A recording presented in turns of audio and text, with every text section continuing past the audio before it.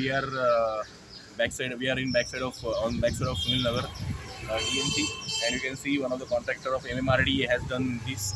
Uh, it's it's nice that we want cement roads. We want we want good footpaths, but this is not the way it should be done for these existing trees. There should be some space, uh, at least one meter space in and around the tree for the rainwater to go inside.